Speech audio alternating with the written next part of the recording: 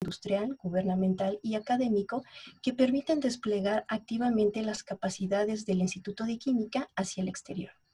Dentro de sus reconocimientos, es perito reconocido por el Colegio Nacional de Químicos, Farmacéuticos Biólogos de México, ante la Dirección General de Profesiones, el, Tribunal Superior de Justicia de la Nación y demás autoridades competentes. Actualmente forma parte del equipo de la Secretaría de Vinculación del Instituto de Química de la UNAM, promoviendo la cultura de la protección a través de la propiedad intelectual la transferencia de tecnología y la vinculación efectiva. Actualmente se encuentra en el programa de la especialidad de Derecho Sanitario del, posgrado de la Facultad de Derecho de la UNAM. De la UNAM. Eh, sin más preámbulo, pues le damos la, cordial bienvenida a nuestro ponente y le cedo la palabra al maestro Guillermo. Muchas gracias. Eh, bueno, voy a compartir la presentación. Denme un segundo. ¿Ahí se ve correctamente? Sí, maestro, ya se ve. Ah, muchas gracias. Bueno, eh, un par de, anuncios este, eh, antes de, comenzar. El primero es que, bueno, pues agradezco a la Escuela Nacional eh, Preparatoria y, bueno, pues a todas las eh, maestras, a la maestra Olivia, a la maestra Adriana, a la maestra Hilda, eh, también al equipo de, vinculación eh, y a todos los que han estado detrás de la organización de, este, de, estos, de estos seminarios, de estas pláticas, por la oportunidad que me brindan de acompañarlos y bueno, pues de poder transmitirles algo de lo que, de lo que yo sé y en espera de que, bueno, pues les pueda servir muchísimo para sus actividades o en su caso que les pueda generar a ustedes igualmente eh, la inquietud por, por investigar, por, por, saber un poco más y, y siempre por, por eh, aprender cosas nuevas. Eh, espero no haber olvidado mencionar a alguien y si no, bueno, de, de antemano una disculpa. Muchísimas gracias a todos por esta oportunidad. En segundo lugar, eh, bueno, comentarles que tengo dos, eh, tengo dos eh, pantallas, entonces si de pronto me ven que, que volteo hacia otro lado es porque me apoyo de un segundo monitor para poder tener el, control de la presentación y estar lo más ágil posible durante la presentación y para contestar a cualquier pregunta o, pregunta o respuesta. voy a tratar de dar toda la, la plática de corrido y hacia el final yo estimo que en algunos 30, 35 eh, minutos, eh, cuando mucho, eh, podré compartirles lo que deseo darles en esta ocasión sobre derechos de autor en redes sociales e internet. y dejamos, bueno, pues los últimos minutos para cualquier duda o, pregunta. y entonces, bueno, pues para comenzar, vamos a platicar precisamente eh, sobre el tema de derechos de autor en redes sociales e Internet.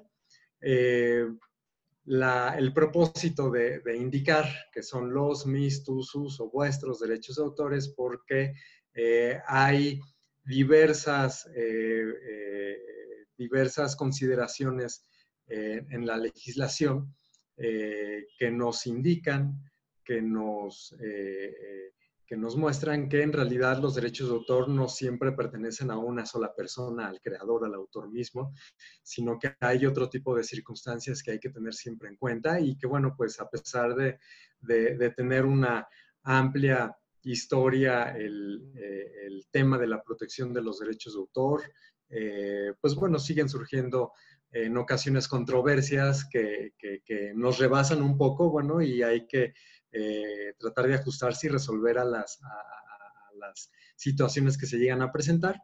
Lo, veremos en, las siguientes diapositivas, se los contaré.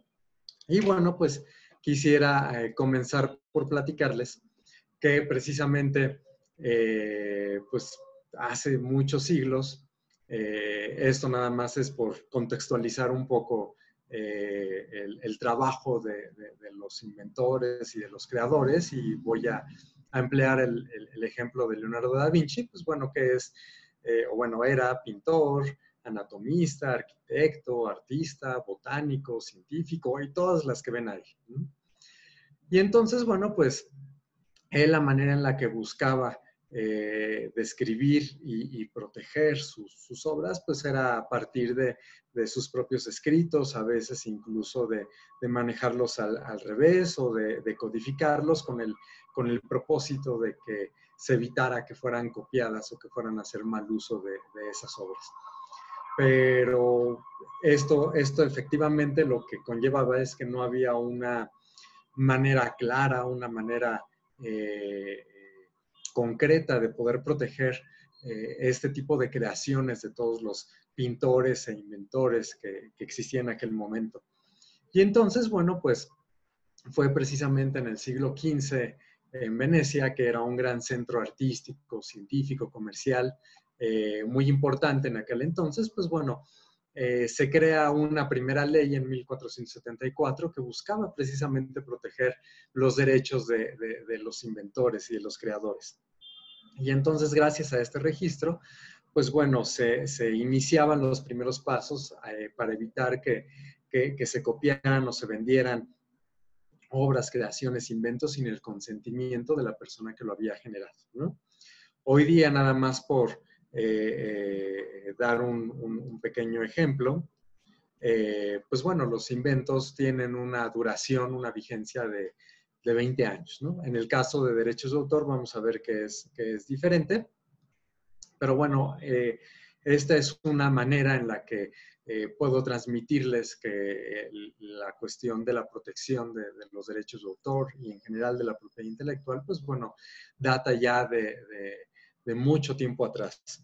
Entonces no es un tema nuevo para, para nosotros, no es un tema eh, nuevo para, para ninguna de nuestras para, la sociedad y ninguno de los países en los que, eh, eh, que tienen este, este tipo de sistema de protección. Incluso, bueno, pues hay tratados eh, internacionales de los que México es parte que busca precisamente proteger, este derecho autoral desde el momento de, de su creación. Y entonces, bueno, pues con esto me voy a enfocar en que, en que podamos reconocer que propiedad intelectual es todo es todo lo que, eh, lo que tiene que ver con las creaciones eh, de la mente, con todo lo que tiene que ver con los inventos. Y la podemos dividir sobre derechos de autor, propiedad industrial y derechos de obtentor.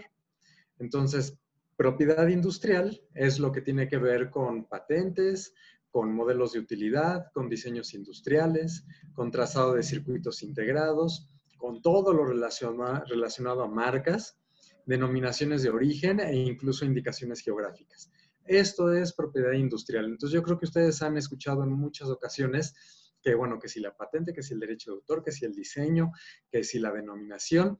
Entonces, en el, en el ámbito de la propiedad intelectual, vamos a clasificar a patentes, modelos, diseños, trazado de circuitos, marcas, denominaciones e indicaciones geográficas en el tema de propiedad industrial.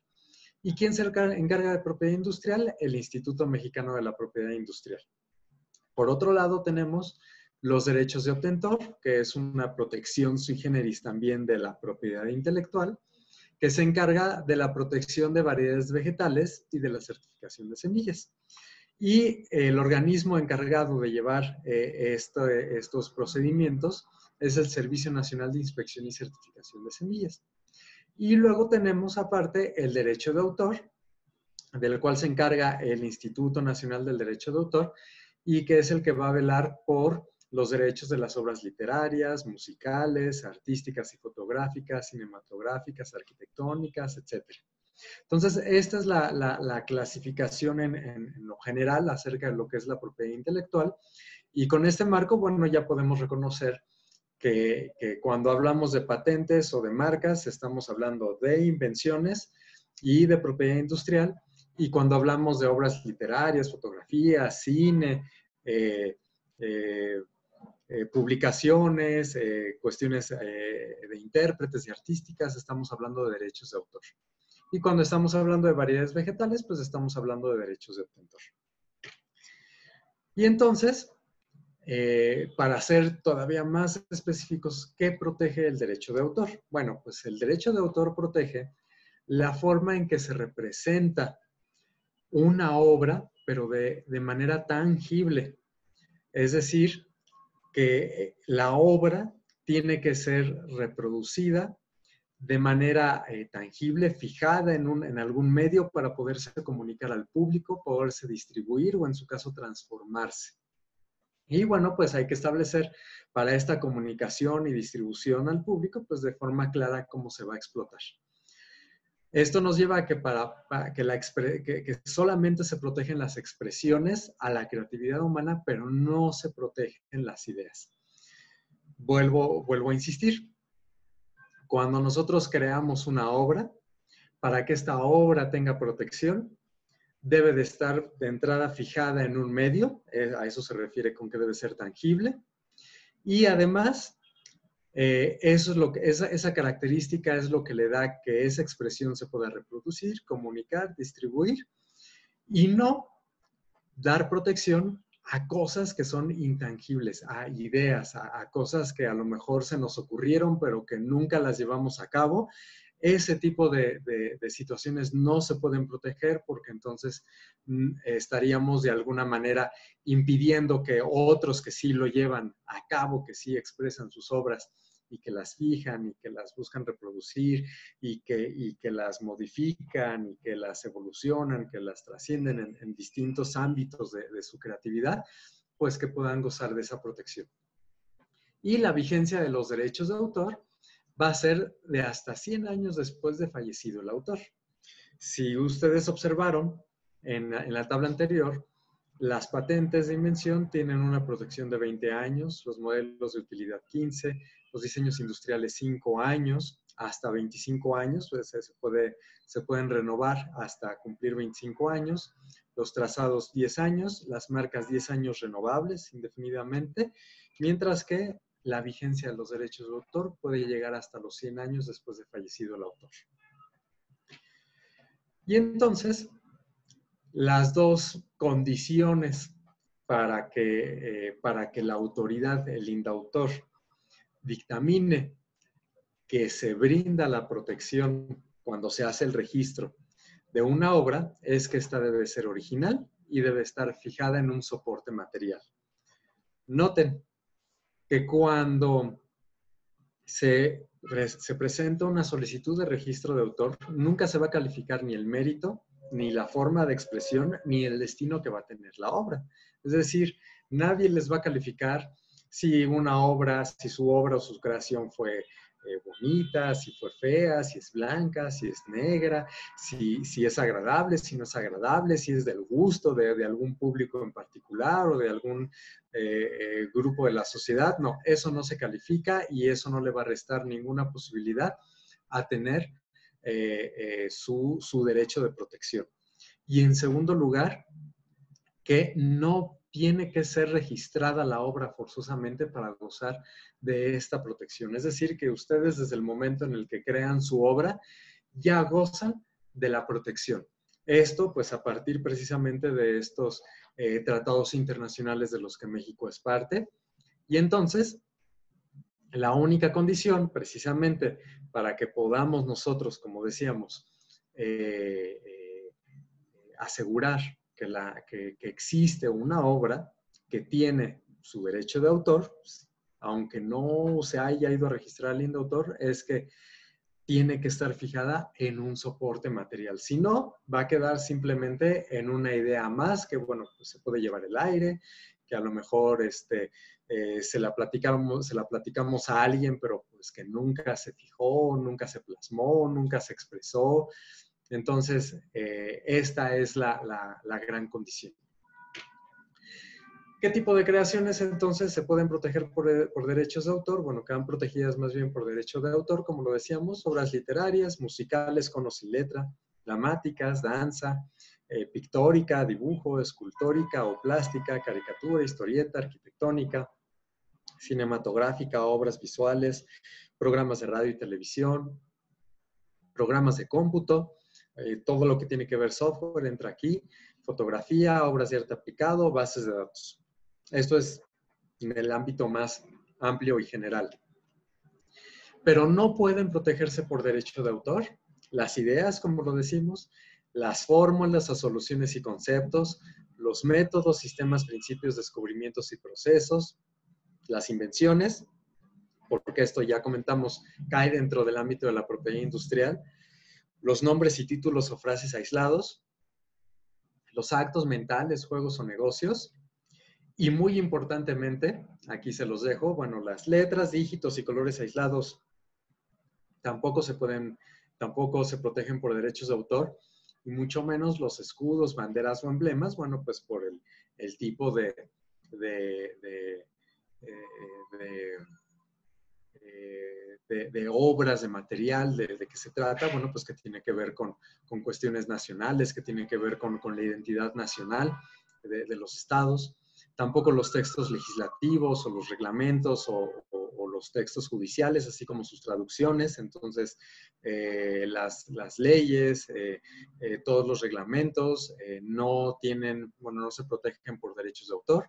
Y los refranes, los dichos, las leyendas, los hechos, los calendarios y las escalas métricas. Entonces, ustedes imagínense que un día tuviera derechos de autor a lo mejor la escala métrica, el, nuestro sistema internacional para, para poder medir y que tuviera derechos de autor, bueno, pues entonces no podríamos eh, seguramente emplearlo para, para nuestras actividades tanto educativas como cotidianas. ¿no? Este es el tipo de motivos por los cuales no se protege por derecho de autor este tipo de, de, materia. Y entonces, bueno, pues aquí, para entrar ya un poquito en, en materia, eh, les quiero platicar eh, el caso de, de, un mono, bueno, de una hembra de macaco, eh, que se sacó una selfie en el Parque Nacional de la provincia de Celebes, en, Indonesia. No sé si ustedes habrán escuchado en alguna ocasión esta historia, pero bueno, todo concluyó en, una, en, una, en un litigio por una gran controversia acerca de si un, un animal, decir, este macaco, podía tener o no derechos de autor. Y todo viene porque se llama Naruto.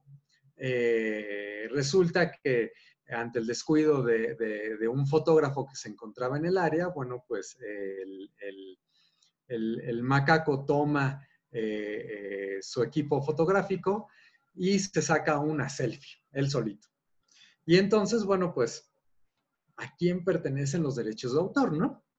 el fotógrafo David Slater dice, bueno, pues yo estoy muy enojado porque soy un fotógrafo profesional, el viaje le costó más de dos mil, más de dos mil libras y bueno, pues con eso se gana la vida, ¿no? Entonces, eh, este es un punto muy importante, que todos aquellos que se dedican precisamente a, a, vivir de, sus creaciones, de sus obras, pues bueno, es muy importante poder eh, explotarlas y poder tener eh, eh, la, contraprestación de sus, regalías, poder vender sus obras, precisamente para poder, por un lado, continuar con su profesión y por otro lado, mantenerse. Ese es un, tema, bueno, es, como dirían, harina de otro costal, pero bueno, es uno de los, de los motivos por los cuales es tan importante eh, favorecer la, protección y el respeto a los derechos de propiedad eh, intelectual y no prestarse a las cuestiones de, piratería. Y entonces, bueno, pues eh, empezaba la controversia acerca de si el, macaco era el que tenía los derechos de autor o era el fotógrafo, porque el fotógrafo no tomó la, la selfie, la tomó el propio macaco. Entonces, ¿de quién es el derecho de la fotografía? Bueno, resulta que la clave radica en, el, en, en, dónde estuvo el acto de creación. Es decir, eh, en este caso, en el de la fotografía, resulta fácil ver que el titular es la persona que va a tomar la fotografía con la cámara, ¿no? Aun cuando la cámara le pertenezca a alguien más. Entonces, bajo esta premisa, bueno, pues pensaríamos que en realidad el, el, titular de los derechos de autor, pues es el, el propio macaco, ¿no? Y esto fue lo que llevó al litigio precisamente. Entonces, eh, las, eh, eh, algunas, bueno, alguna institución, déjenme ver si la identifico por aquí. bueno, lo que yo encuentro es que una asociación, ahorita les digo, la organización, bueno, por sus, por sus siglas en inglés, People for the Ethical Treatment of Animals, una organización para el cuidado de los animales, indica que, bueno, eh, había que respetar los derechos de, del mono en este sentido, porque fue el que se tomó la fotografía y, exhibía un, grado de, capacidad intelectual, ¿no? Entonces, bueno, pero esto sería tanto como decir que un gato callejero hubiera restregado a lo mejor pintura en un lienzo o un perro lo hubiera, hubiera producido un sonido fuerte al morder las cuerdas de un instrumento. Eh, y entonces podríamos pensar que eso es una obra, pero pues el derecho de autor más bien aplica a las, personas, ¿no? No, no a, a lo que haya realizado o no un animal. Entonces, desde ese punto de vista jurídico, eh, las obras, los derechos de autor solo pueden ser producidas por los humanos y entonces se especifica que las obras producidas por los animales, ya sea una foto, un mural o, cualquiera, pues bueno, no podrían calificar para tener estos derechos de autor. Entonces, bueno, pues para evitar mayor conflicto, eh, pues el fotógrafo acordó donar el 25% de los ingresos futuros por, por esta selfie que se tomó el macaco, pues bueno, a estas organizaciones que protegen el, hábitat de estos, de estos animales. Y este es uno de los, este es, uno de muchos ejemplos acerca de cómo trasciende el derecho de autor eh, eh, a través de las, de las redes y el Internet y que pues lo que a veces nosotros tratamos de expresar en, en los medios de comunicación de los que disponemos, pues bueno, puede implicar algo más que simplemente el haber compartido algo. Y entonces de aquí, bueno, pues quiero eh, transmitirles que tenemos que tener bien claro que entonces el autor puede ser, eh, pues, bueno, cualquier persona, una persona física, que con su intelecto va a crear una obra, ¿no? Eh, y entonces hay que reconocer, a partir de este ejemplo del, del, macaco, bueno, pues que va a haber, van a existir dos derechos. Uno que es el moral, que es el que une a la obra con su autor, tiene que ver con su derecho de ser el papá o el mamá de la obra, y que este derecho moral es inalienable, imprescriptible, irrenunciable e inembargable. Entonces ahí le voy a encargar a sus, a sus profesores, a sus, a sus profesoras que les pongan el examen, eh, que les definan, que, que, ustedes definan qué es inalienable, imprescriptible, irrenunciable e inembargable, ¿no? Pero bueno, eh, eh, yo les, eh, les paso la pista, inalienable, pues tiene que ver con que no se puede transmitir, que no se puede vender, que no se puede dar este derecho, este, este derecho de ser el papá o la mamá de la obra, imprescriptible, que, que nunca va a caducar, que es irrenunciable, que nadie puede renunciar a este derecho a ser reconocido como el autor de su obra y, de su obra y que es inembargable, que no se nos pueden quitar.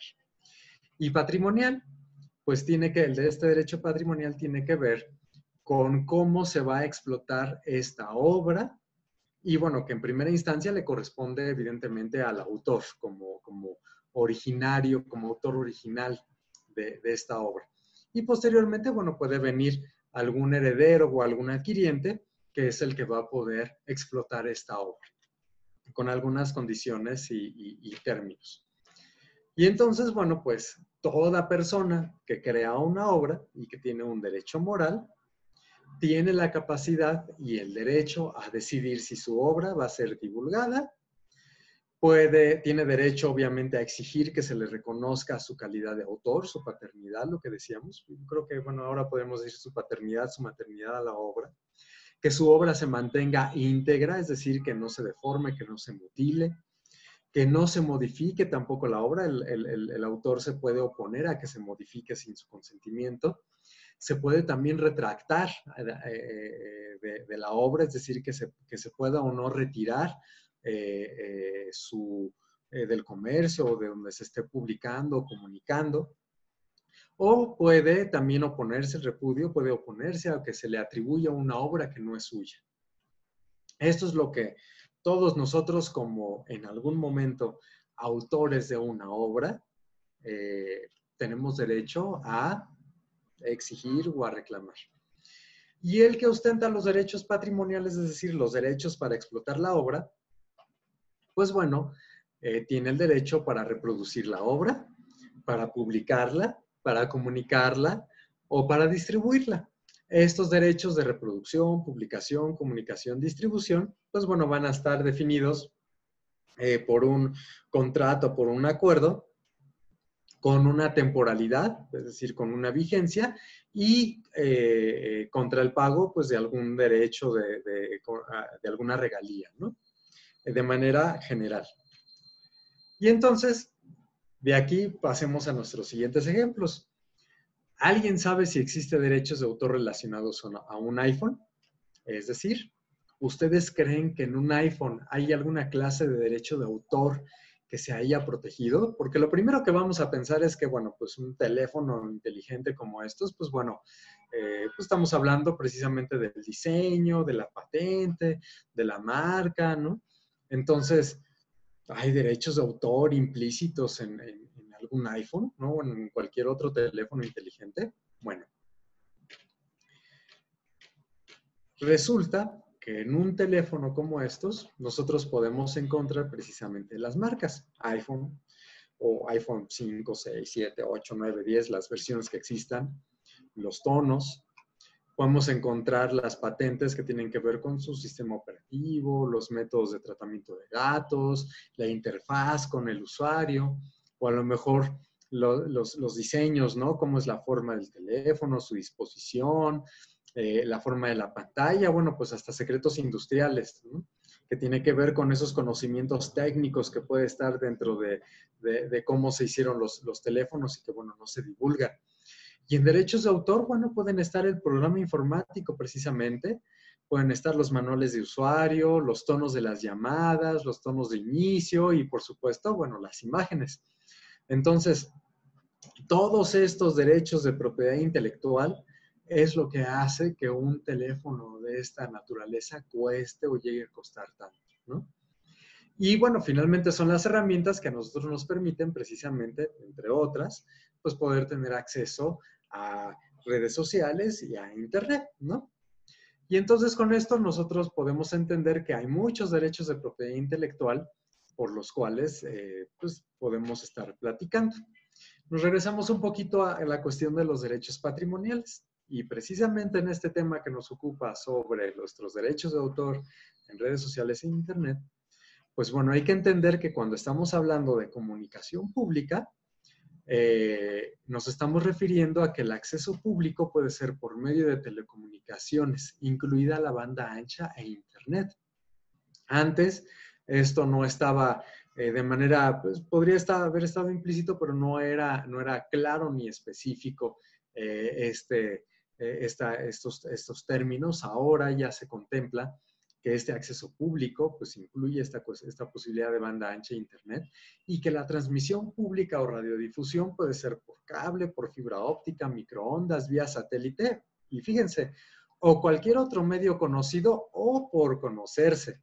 Entonces, si hoy día lo más nuevo pues es, por ejemplo, el streaming para, para transmitir eh, cualquier tipo de, de material audiovisual, y ya de mañana no sabemos cómo va a ser esta transmisión pública y por qué vías vamos a tener acceso a este tipo de transmisiones. Entonces, no importa que no lo conozcamos, como vaya a ser en el futuro, esto va a tener un derecho eh, de autor, ¿no? Y que vamos a tener que respetar. ¿Cuál es nuestra realidad? Bueno, pues que nosotros suponemos que en Internet todo es libre, que es fácil, eh, fácil llegar a él, a ese contenido y que además es gratuito, ¿no? ¿Por qué? Porque yo ingreso a través de mis, de, mi computadora, de mi teléfono, de mi tablet o, con la herramienta que tenga. Eh, yo ingreso a internet y bueno, pues empiezo a ver un montón de contenido que pues bueno, nadie me está diciendo y en muchas ocasiones ni siquiera vemos que aparezca ahí, bueno, pues que este contenido tiene protección, que tiene eh, un, derecho de autor en particular, ¿no? Eso no lo encontramos de manera inmediata, ¿no?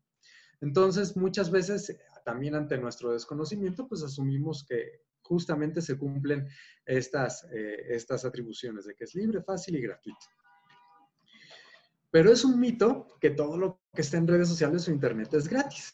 Entonces, yo les pregunto, como en el caso del fotógrafo, ahorita vamos a ver otro ejemplo, si ustedes como autores o creadores que viven de sus creaciones. Imagínense estos fotógrafos, o a lo mejor un pintor, a lo mejor un arquitecto, a lo mejor eh, alguien que se, que se, dedique a tener un blog, eh, alguien que se dedique a generar contenido audiovisual, ahora que están de modas estas redes sociales donde uno puede estar subiendo eh, videos cortos o etcétera. Si ustedes considerarían que sus obras o todo lo que comparten en Internet es así de la nada y sencillamente gratuito y que no tiene ningún derecho de propiedad intelectual, yo al menos les comparto, a mí me gusta mucho la fotografía y pues a veces no es tan fácil como decir, así voy a compartir todo lo que yo estoy creando ya y para que lo usen gratuito, que se lo lleven, que, a lo mejor alguien más lo pueda explotar y entonces pues yo me quedo aquí este, creando y trabajando para, alguien más, ¿no? Y entonces, bueno, pues les quiero contar el caso de, un, de un, fotógrafo que precisamente eh, subió sus fotografías a sus redes sociales, el caso de Daniel Morel, que él se encontraba en, Haití durante el terremoto del 2010 y él tomó una serie de fotografías hasta donde pude investigar eh, ocho fotografías. Y entonces él toma eh, las fotografías y las sube a, la aplicación de TweetPic, que, es la, aplicación para fotografías de, Twitter, hasta donde tengo entendido. Y entonces de esta red eh, un par de agencias de comunicación toman las fotografías y ellos empiezan a distribuirlas, como vimos, a distribuirlas, a comunicarlas y a explotarlas. Y nunca le pidieron ni permiso, ni le dijeron, ni nada, ¿no? Entonces, Daniel Morel se quedó ahí, este, eh, pues en ascuas, ¿no? Porque, bueno, no sabía eh, por qué estaban utilizando sus fotografías de esa manera. Y entonces se fueron a litigio, fueron tres años, y al final lo que se, lo que, eh, lo que se concluyó fue que estas agencias de comunicación debían pagarle regalías por derechos de autor a este fotógrafo. Y por esas fotografías le tuvieron que pagar 1.2 millones de dólares. Y entonces aquí es donde nosotros vemos que qué bueno que existe la protección a los derechos de autor, y qué bueno que podemos tener también dentro de esos derechos de autor la posibilidad de comercializarlos, nuestros derechos eh, patrimoniales, pero que deben existir precisamente estas circunstancias, condiciones, estas reglas para que eh, todos aquellos creadores de obras y que podría yo casi eh, con, con, 99% de seguridad, decir que todos somos en algún sentido creadores de algún contenido, pues bueno, que podemos nosotros eh, reclamar o proteger o pedir que, que, se respeten nuestros derechos, ¿no? Y entonces, los hechos son que cuando nosotros estamos utilizando nuestras redes sociales o estamos eh, subiendo información a Internet, los únicos responsables del contenido que se comparte somos nosotros los usuarios y no precisamente las plataformas digitales o proveedores de servicios. Pero ojo, existen herramientas en las plataformas para denunciar precisamente cuando alguien está afectando nuestros derechos de autor. Y esta es una de las, y, precisamente este, este par de puntos son eh, un par de artículos que, se agregaron a la, la a la, Ley Federal de Derechos de Autor aquí en México y que ya nos permiten precisamente brindarnos de estas, de estas herramientas, de esta posibilidad mucho más clara eh, de poder reclamar cuando alguien, eh, bueno, cuando nosotros nos encontramos con que alguien está eh, usando nuestras obras sin nuestro consentimiento o que a lo mejor las está modificando sin nuestro consentimiento o que a lo mejor las está distribuyendo sin nuestro consentimiento o copiándolas, ¿no? Entonces tenemos la capacidad de, de, de, solicitar que no se haga este mal uso de nuestras obras, sin quitarnos a nosotros evidentemente la responsabilidad de que tenemos que tener, por un lado, cuidado de la manera en la que nosotros mismos compartimos nuestras obras, pero también de tener cuidado.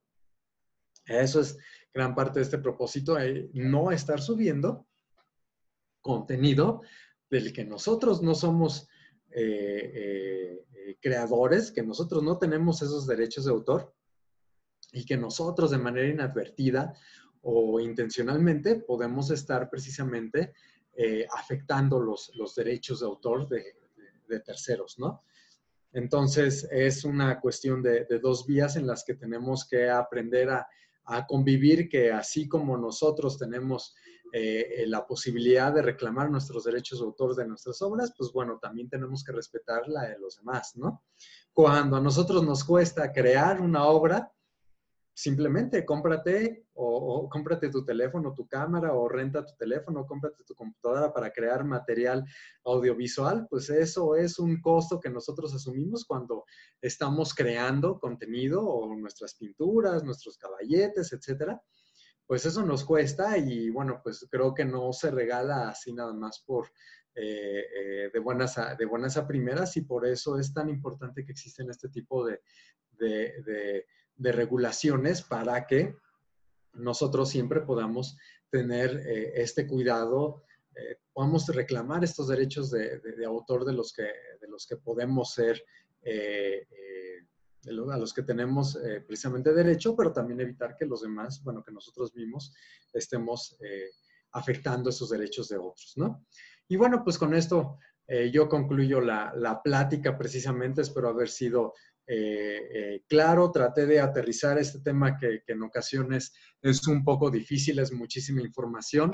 Eh, son temas que, a veces requieren hasta especialidades o, este, cursos de más de, seis meses para poder entrar en, materia, pero bueno, traté de, de, compartírselos lo más sencillo, de la manera más sencilla posible y bueno, pues eh, si hay algo que ustedes quisieran saber, algo que no haya quedado claro, pues estoy a sus órdenes.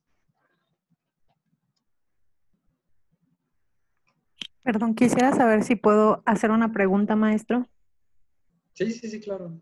Eh, normalmente cuando pues ya no tenemos, eh, digamos, material que no esté libre, por así decirlo, y tenemos que hacer uso de alguna imagen o alguna canción o alguna algún texto, algo, con mencionarlo es suficiente para no incurrir en alguna penalidad o en alguna falta a, toda esta protección de la, de la propia, bueno, del, de, todos eh, los que son dueños de esas imágenes y de esa música?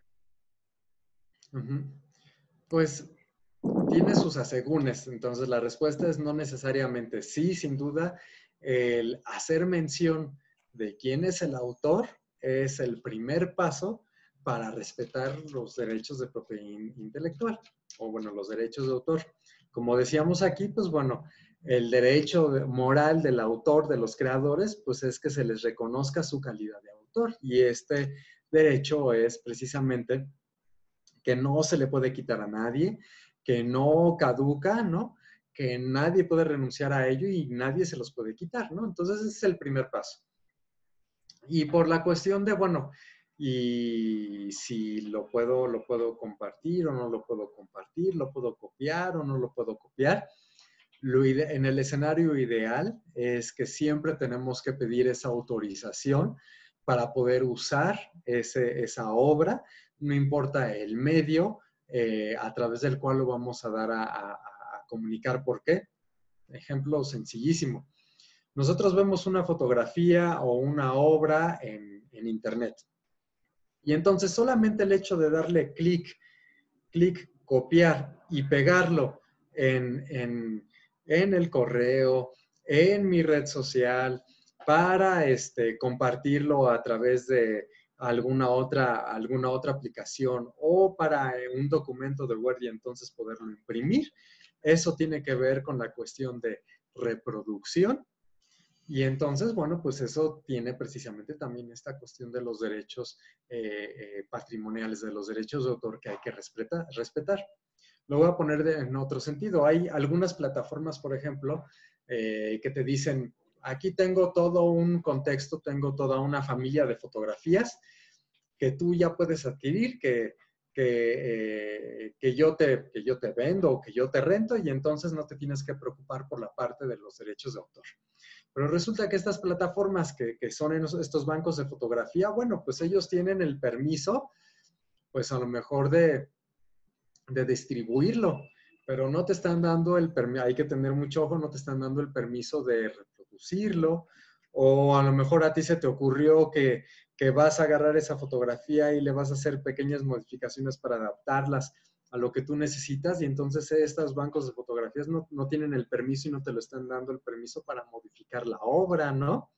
Eh, o que a lo mejor el propio autor pues no sabía que tú ibas a utilizar su fotografía para, no sé, eh, reproducir tazas, ¿no? Para poner la fotografía en tazas o playeras y pues al autor no le parece que tú estés utilizando de esa manera su obra y entonces él se quiere retractar o él considera que no tiene, no está, no se le está dando eh, el uso íntegro a su obra como debería de ser y entonces eh, no necesariamente el hecho de tener a disposición una, una imagen, un contenido eh, autoral, pues este, se, se, respeta por completo sus derechos nada más por mencionarlos, ¿no?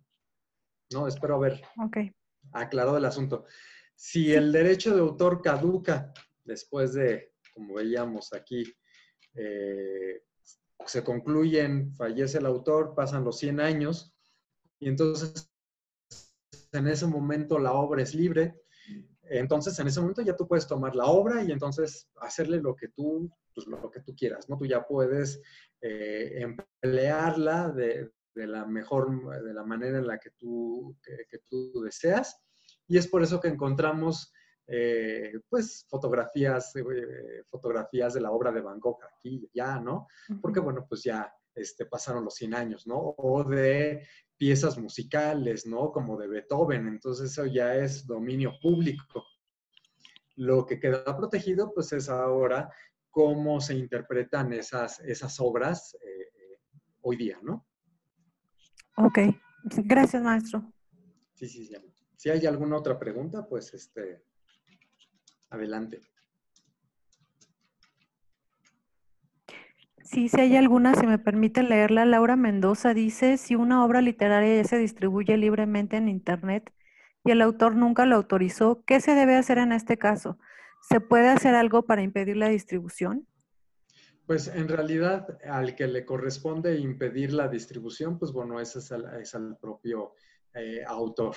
Es decir, no se actúa, la autoridad no actúa de manera eh, automática, hay que ir eh, al indautor y, e iniciar ese proceso para, para impedir que se, que se distribuya. Pero, por ejemplo, ahora con las herramientas que, que, se tiene, bueno, pues si tienes conocimiento de que se está distribuyendo a través de, no sé, de alguna, de alguna plataforma donde se comparte eh, contenido, pues bueno, puedes, si, el, si el, autor puede demostrar que es precisamente el, creador de esa obra, entonces puede demostrar que su obra está siendo eh, distribuida, reproducida sin su consentimiento, puede solicitar a la plataforma que se, que se baje el contenido.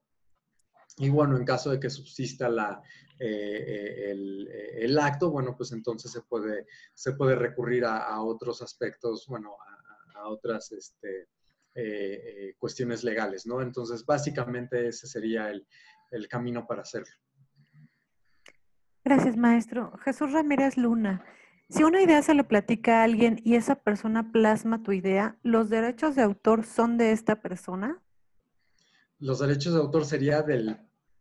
Los derechos de autor serían de quien plasmó la obra o como decíamos, pues las ideas no están protegidas. Entonces, si yo, si a mí se me ocurre platicar que quiero dibujar un, patito feo, pero yo no dibujo nada, ni siquiera en una servilleta, y alguien más lo hace, pues bueno, el que lo hizo es el que va a gozar de esos derechos de autor sobre la obra como quedó expresada en, el, eh, en el, material o en, el, eh, en, el medio en el que la haya expresado, ¿no? Si a mí se me ocurre después, híjole, bueno, pues ya eh, mi amigo, mi compañero, este tercero, eh, fue y creó, eh, hizo una pintura del patito feo, pues yo puedo hacer mi propia versión, ¿no? entonces yo tengo que ser suficientemente creativo como para hacer mi propia versión de mi patito feo, y entonces yo seré autor y tendré los derechos de autor de mi propia obra y mientras que la otra persona tendrá los derechos sobre su propia obra. Un, ejemplo de esto, pues es, existe, por ejemplo, eh, eh, Mickey Mouse, pero también existe, eh, no, me equivoqué, existe, por ejemplo, Roger Rabbit y también existe este, este otro conejo, ¿cómo se llama? Este, ¿Cómo se llama este otro conejo de, este, de, de Looney Tunes? Este, Box Bunny. De Box Bunny, ¿no? Entonces, los dos son, son conejos que, pues, este, eh, a lo mejor tienen eh, características, ¿no? De que, de que hablan, de que, de que, de que, se expresan, son, son animados, pero bueno, son dos conejos que, que, a, simple vista, pues bueno, no se parecen, ¿no? Entonces, espero haber logrado contestar la pregunta. Gracias, maestro. Eh, la maestra Lourdes Pineda Ayala nos dice, gracias por su conferencia, es muy útil para proteger lo propio y para evitar no violar los derechos de otros y enseñárselo a los alumnos. Sí, muchas gracias. Eh, creo que no hay más preguntas. No sé si alguien más tiene una, hay otra pregunta más. Si realizo un video con imágenes de un banco de imágenes libres, ¿yo poseo los derechos de autor? Eh, lo que poseería sería la manera en que a lo mejor compilaste esa, ese orden de imágenes, esa colección de imágenes y cómo, cómo las organizaste, eh, eh, a lo mejor si, si, utilizaste algún fondo, si utilizaste alguna, alguna musicalización este, detrás que, que, se apropia, esa manera en la que, que, lo hiciste, bueno, tienes esa parte de, los derechos. Pero eh, las fotografías van a tener su propio derecho, eh, su propio derecho con, de, los creadores y hay que solicitarles el permiso para poder utilizar sus fotografías para la obra que tú aparte estás creando. Eh, ejemplo concreto, espero no pasarme de, de, minutos, voy a tratar de ser rápido por ahí eh, había una propuesta de una empresa que quería agarrar todos los tweets de, la historia desde que se creó Twitter y entonces ponerlos en un, libro, en una obra. Eh, y bueno, generó una gran controversia porque no estaba mencionando eh, quiénes eran los autores de, cada uno de los tweets, de los millones de tweets, no estaba mencionando quiénes eran los autores. y en segundo lugar, bueno, pues eh, pues al final si se iban a poner en una compilación, pues entonces cada tweet iba a tener un derecho de autor. ¿Cómo yo le voy a pedir el derecho de autor, eh, sus derechos a cada una de las personas que, que, postearon en algún momento sus tweets? Entonces, no, pues mejor se evitaron el problema de tener que ir tras cada uno pidiendo sus derechos y bueno, pues retiraron la obra, ¿no? Eh, nosotros, por ejemplo, en el, en el instituto eh, tenemos una, un, área de eh, eh, un, área que se dedica a recopilar toda la información que existe sobre la, biodiversidad química y, biológica en el, país. Y bueno, pues para poder hacer esa recopilación, pues también nos apoyamos precisamente de, de, fotografías que no siempre nosotros mismos sacamos. Entonces hay que, eh, hay que pedir los permisos, por ejemplo, para, poder utilizar esas fotografías en estas bases de datos y en, esta, y, en las, y en las publicaciones, ya sean revistas o colecciones, en las que vamos a integrar estas, estas fotografías como parte de la diversidad, pero que nosotros no sacamos esas, eh, esas fotografías. Entonces hay que solicitar ese permiso para poder utilizarlas. Lo que decía, el hecho de que estén en una plataforma que dice que son libres de derechos de autor, bueno, cuál, cuál, en, cuál en particular, ¿no? La, la, plataforma tiene a lo mejor el derecho de distribuirlas, tiene a lo mejor el derecho de comunicarlas, pero no necesariamente los autores saben al final para qué se van a utilizar estos, estas fotografías, ¿no? Entonces, si, si hoy día se, se, me ocurre a mí, por ejemplo, eh, eh, sacar una, eh, una fotografía. Yo saco la fotografía de la pirámide de Teotihuacán, por ejemplo, y la subo a una de estas plataformas que venden, que, son bancos de fotografías. Bueno, pues yo le di la fotografía a la plataforma, al banco de imágenes, porque yo soy el autor, pero el, el contenido de la fotografía, que es una pirámide de nuestro patrimonio cultural, que es administrado o gestionado por una autoridad como lo es el, como es el INAO, como es este, sí, como es el INA, como es este, eh, eh, ellos, ellos son al final los que deciden de qué manera se puede utilizar o no todo el material gráfico que se haga sobre, por ejemplo, eh, las fotografías que, se saquen este, de, las, de las zonas arqueológicas, ¿no? sí, es, a ver, déjenme ver. Entonces, en, ese sentido, a lo mejor eh, eh, la, fotografía, yo fui el autor de la fotografía y la di a un banco de imagen, pero eh, no por el hecho de que yo soy el autor de la fotografía y tener estos derechos morales y, patrimoniales en su caso para decir, ve y comunica y distribuye y saca y copia la fotografía como, tú, como a ti te plazca, nos da la libertad, tanto a mí como fotógrafo, como a, ti que la estás tomando de un banco de imágenes gratuito, el usar esa fotografía que tiene plasmado un, un, patrimonio cultural, que tiene una administración y una gestión diferente, este, para poder usarlo como a nosotros nos plazca. Entonces hay que ir a buscar eh, también eh, eh, los permisos para poder emplearla. Entonces hay, hay algunos... Este, algunos asegúnes en, cómo se pueden utilizar a veces este, las obras y no necesariamente todo lo que vemos en Internet, como decía, es libre y gratuito nada más porque nos lo están diciendo, ¿no? Entonces, bueno, creo que me extendí un poquito, pero traté de ser lo más, este, lo más claro posible. Creo que no hay más preguntas, maestro. Le voy a regresar los micrófonos a la maestra Adriana. Sí, sí, sí, claro.